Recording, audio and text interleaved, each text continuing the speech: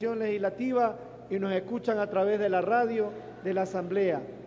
El tema de la piratería, compañeros asambleístas, es un tema muy complejo y sensible. A través de esta reforma debemos analizar a quienes estamos beneficiando, a quienes estamos sancionando, a quienes estamos perjudicando, si es al autor, si es al compositor, si es al vendedor ambulante, si es al que expende o distribuye en grandes cantidades la piratería a través de discos, en los CD, a través de lo que es música, de lo que es películas, de lo que es programas informáticos. Y bajo esa circunstancia hemos llegado al colmo, compañeros asambleístas y presidenta de la Asamblea, que se ha llegado hasta premiar el disco pirata más vendido. A eso hemos llegado, compañeros. Qué vergüenza premiar el disco más vendido de determinados artistas. Obviamente ahí se hace más popular, nadie lo niega, pero en lo económico, ¿cuánto se perjudica a una persona que con su talento, al haber grabado una melodía o haber hecho un programa, resulta que prácticamente le piratearon y lo que tenía que ganar, muy bien, gracias. Y a esto hemos llegado, que esta práctica de la piratería se la ve, lamentablemente, como algo muy normal, y no lo es. Repito, ya estamos acostumbrados a ver que el tema de la piratería es algo normal en las calles cuando no lo es. Por eso es necesario buscar mecanismos para erradicar esta situación. Y me hago la pregunta, ¿acaso la cárcel será la solución? Ese es el tema que estamos debatiendo. Y sí considero que los grandes proveedores, los que piratean y distribuyen a diestra y siniestra en todos lados, son aquellos que nosotros debemos, en este caso, ser más drásticos en la sanción. Y obviamente creo yo que nosotros también debemos analizar y vivir experiencias exitosas de otros países, cómo pudieron solventar o pudieron llegar a cabo estrategias para erradicar. Pero ese es el mal que tiene nuestro país.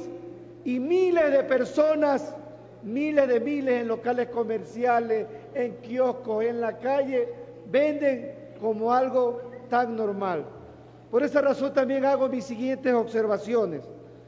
En el primer inciso del artículo 1 del proyecto de ley, se debe incluir a las personas que importen o exporten mercancía falsificada, ya que se dan casos de terceros que compran en el exterior e importan al país mercancía falsificada con fines de comercialización o al contrario, compran esta mercancía a un fabricante nacional y lo exportan con los mismos fines. Así aún cuando ésta no haya sido comercializada, ya estaría incurriendo en la infracción, tomando en cuenta que la gran mayoría de estos productos se localizan en los puntos aduaneros. De igual forma, sugiero incluir el término mercancía falsificada para diferenciar los casos de importaciones paralelas de productos originales ya que, tal como está redactada la norma, se estaría sancionando este tipo de comercio que se da cuando una persona importa legalmente productos, paga los impuestos correspondientes y vende los productos originales en el país, pero no dentro de la tienda autorizada de la marca, cuyos precios normalmente son superiores, sino en su local de comercio. Esta sanción afectaría no solo al comerciante, compañeros asambleístas, porque lo obligaría solo a comprar en un almacén y no lo puede hacer esta persona a pesar de haber pagado todo y hacerlo estrictamente en regla, pues se encuentra con esta dificultad. En referencia a la escala para el establecimiento de sanciones pecuniarias, se sugiere especificar que se hace referencia al valor comercial o de mercado para diferenciarlo de otro tipo de valor como el de fabricación, cuyo rubro es mucho menor. Cabe señalar además que el acuerdo de la Organización Mundial de Comercio sobre los aspectos de los derechos de propiedad intelectual relacionados con el comercio señala que la multa debe ser lo suficientemente disuasiva, por lo que se debe considerar este aspecto al momento de establecer las sanciones pecuniarias, tomando en cuenta también que la piratería es una de las formas utilizadas para el lavado de activos, por lo que la sanción pecuniaria debe ser rigurosa.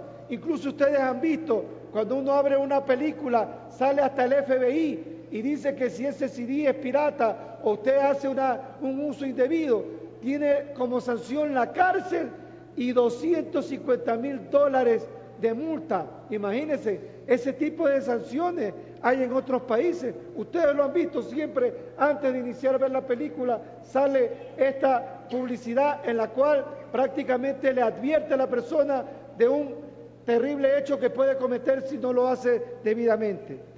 En el inciso que hace relación a la violación de los derechos de autor, se sugieren modificaciones a la redacción para que una mayor claridad del texto, así por ejemplo, se sugiere eliminar el término mercancía pirata y sustituirlo por obras protegidas por el derecho de autor. Como es de su conocimiento, la protección del derecho de autor recae sobre todas las creaciones del ingenio que se expresan a través de las obras de carácter literario, artístico o científico, independientemente de su género, forma de expresión, mérito o finalidad. El derecho de autor protege las obras intelectuales desde el momento de su creación y prohíbe su reproducción por cualquier medio o procedimiento sin autorización debida del autor. Muchos discos dicen prohibida su reproducción si no tiene la autorización de parte del autor.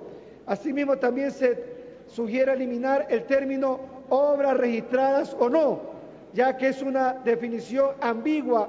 Además, las obras protegidas por derecho de autor están tuteladas sin necesidad de registro, de acuerdo al convenio de Berna ratificado por el Ecuador. Incluso entre uno de sus considerandos dispone el embargo de las obras que sean fraudulentas porque atentan contra los derechos intelectuales.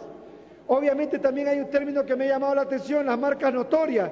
Debe ser eliminado, ya que la marca sí sea notoriamente conocida, deberá estar reconocida como tal en el Ecuador. A cualquiera se le ocurre decir que su, su, su marca es notoria y no lo es, para eso pasan muchos años y hay marcas muy posicionadas. Así que cualquier persona puede salir con su situación de que está protegiendo un derecho que ni siquiera ha sido reconocido.